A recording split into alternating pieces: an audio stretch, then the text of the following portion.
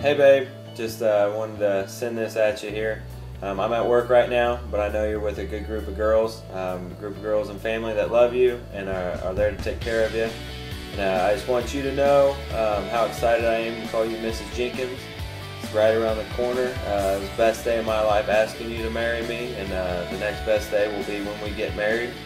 So I want you to know that I love you. Uh, when you all go out tonight, be careful, have fun.